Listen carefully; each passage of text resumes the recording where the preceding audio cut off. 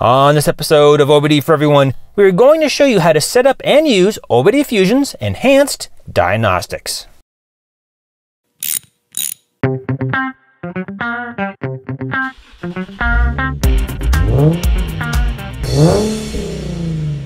What are Enhanced Diagnostics? Well, Enhanced Diagnostics gives you access to the same information that the dealership mechanic can see with their expensive scanners. Let me show you. To get started, we will start OBD Fusion. Now I've got the Bluetooth LE OBD scanner already plugged in, and I've got the ignition in the on position. From here we touch connect. This is the first time I've connected to this car, so OBD Fusion doesn't know which protocol to use. So it will cycle through them one at a time until it gets to the right protocol, which now it has.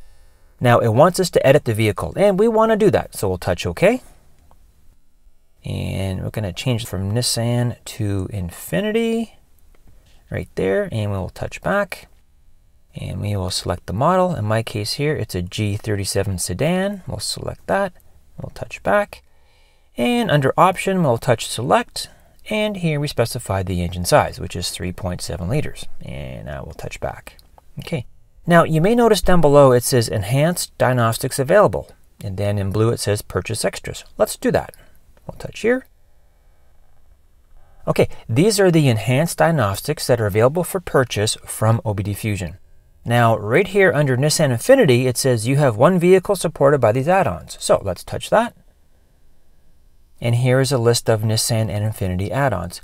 As you can see for 2012, I've got the blue check mark because I've already purchased these. So to purchase the enhanced diagnostics, we simply select it. And then the price on the right hand side is $13.99. We will touch that and touch it again to buy it.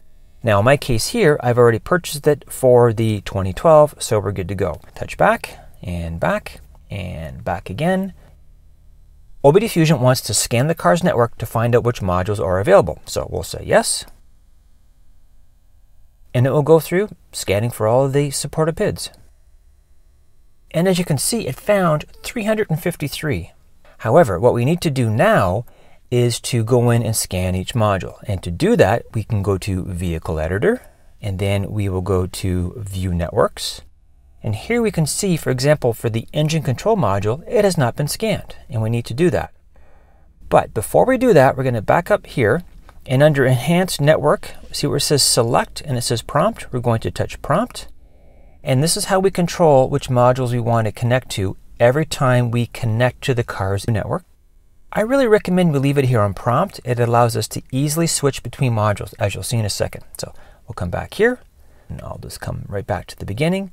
I'm going to disconnect, and now reconnect. And now I'm going to select the engine control module and connect. We're getting a warning here. We'll say yes. This is giving us a warning. We're going to go to a elevated diagnostic session. That's fine. We'll say yes to continue. And now it's going to scan for supported enhanced PIDs for this module. We'll say yes. Okay, the ECM module has been scanned. Now let's just go to Vehicle Editor and see how many we have. Then we touch View Networks. And here we can see we've got 227 supported parameters. If we touch the eye, we get our list of the supported PIDs. And it is a long list. And I'm not going to go any further. We're just still at the ease. So we'll touch back. Now we've got other modules we need to do as well. So for example, we're going to go back and do the anti-lock brake system. So we're going to touch back and back, and we're going to say disconnect and connect, and pick the anti-lock brake system and touch connect. Say yes, and yes, Let's have a look and see where we're at. So if we go back to Vehicle Editor and View Networks, and we can see we've got 65 supported parameters for the anti-lock brake. Let's have a quick look at some of those. Ooh, look at that. A deceleration G sensor. That's interesting. Okay, so we'll touch back. The next module we are going to do is the sound navigation and ranging. Because I want to show you something here. I may have done this before. We're going to touch disconnect and connect again to get this prompt and touch sound navigation and ranging and touch connect. We'll say yes. And yes. So sometimes you may have a module, but there aren't any PIDs associated with it, which was the example here. Because now if we go back to Vehicle Editor and touch View Networks, we can see zero supported parameters.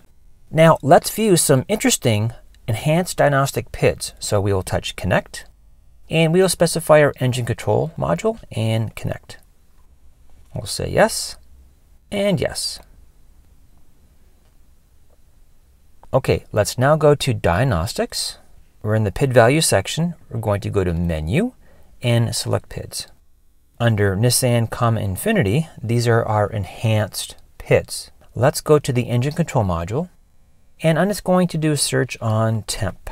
Okay, so I want to have a look at the coolant temperature, engine oil temperature, we'll do fuel temperature, air intake temperature, and that's good. So we'll touch done and we'll touch back. And there we are. We're now looking at coolant temperature of 26 degrees, engine oil temperature of the same, fuel temperature of 24, and our air intake temperature sensor 42. All right, let's wrap up this episode. With OBD Fusion's enhanced diagnostic add-on, you now have access to a lot more information. And this can be very useful when troubleshooting a problem or when doing maintenance. But keep in mind, different vehicles will have different modules and different PIDs. All this for about $15. Not bad. Música